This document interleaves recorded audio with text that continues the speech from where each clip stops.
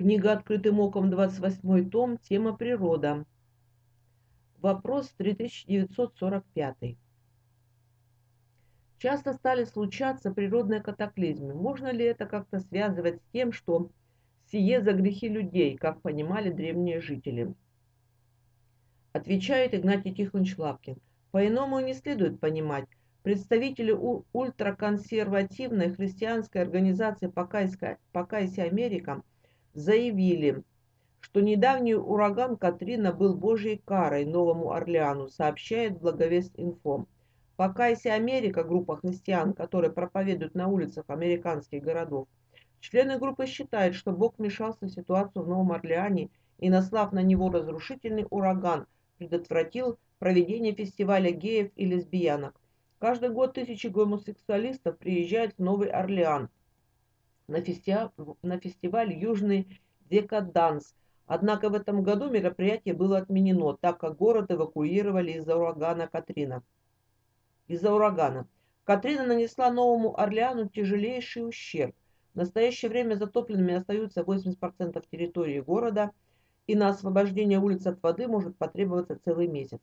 Рука Господа уничтожила целый злой город, заявил директор группы «Покайся Америка» Майк Марковейдж. Новый Орлеан открыл двери греху. Нельзя забывать, что жители Нового Орлеана терпели и даже охотно принимали порог в своем городе в течение долгого времени. Заявление Марка Вейджа э, возмутило как религиозных лидеров, так и активистов движения за права гомосексуалистов. Это ужасное злое понимание любви Божией. Оно жестоко, преступно и противоречит всему, что я знаю о Писании и о Боге, заявил в интервью британскому сайту Экклесия пастор Мартин Рейнольдс из христианского движения геев и лесбиянок. Я сомневаюсь, что они, покайся Америка, понимают смысл нашей веры и надеюсь, что жители Луизианы не будут судить обо всех христианах по словам этих людей, подчеркнул пастор. В Швеции в пятницу был оправдан священник Аак Грин, который в течение месяца находился в заключении по обвинению в разжигании ненависти. В одной из своих проповедей Агрин назвал гомосексуалистов раковой опухолью всего общества. Оправдательный приговор священнику вынес апелляционный суд страны на основании закона о свободе слова. В то же время суд признал недопустимым предлагать личную интерпретацию Библии и призывать остальных следовать ей.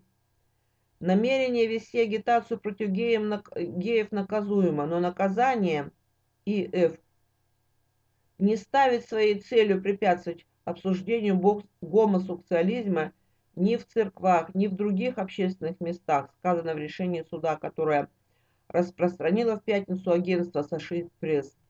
По мнению священника Ральфа Туэрнера, сегодняшнее решение суда демонстрирует действительно судебная система, которая, цитата, предоставляет некоторую степень защиты тем, кто проповедует Слово Божие. Следующая цитата. Но в то же время, добавил он, это должно стать сигналом, предостерегающим всех священников от использования такого грубого языка во время обсуждения деликатных вопросов. Христианская вера не ставит своей целью судить людей. Кавычки закрыты. Бытие 6.11. Но земля растлилась пред лицом Божиим, и наполнилась земля злодеяниями. Откровение 19.2. «Ибо истинные и праведны суды его, потому что он судил эту великую любодейцу, которая растлила землю любодейством своим, и взыскал кровь рабов своих от руки ее». Бытие 18.20. «И сказал Господь, вопль Содомский и Гоморский велик он, и грех их тяжел он весьма, Уставший бегать ежедневно по грязи, по песку, по жесткой мостовой, однажды ноги очень гневно разговорились с головой. «За что мы у тебя под властью такой, что целый век должны тебе одной повиноваться днем, ночью, осенью, весной? Лишь вздумалось тебе изволь бежать, таскаться туда-сюда, куда велишь. А к этому еще окутавши чулками, ботфортами и башмаками, ты нас, как ссылочных невольников, моришь» и, сидя наверху, лишь хлопаешь глазами, покойно судишь обо всем, об свете, об людях, об моде, об тихой и дурной погоде, Частенько на насчет себя ты веселишь. Насмешкой, колкими словами и словом бедными ногами, как шашками вертишь. Молчите, дерзкие, им голова сказала, или силою я вас заставлю замолчать. Как смеете вы бунтовать, когда природой нам дано повелевать? Все это хорошо, пусть ты повелевала, по крайней мере, нас повсюду не швыряла. А прихоти твоей нельзя нам исполнять, да между нами ведь признаться, коль ты имеешь право управлять, то мы имеем право спотыкаться и можем иногда, споткнувшись, как же быть, твое величество, об камень расшибить?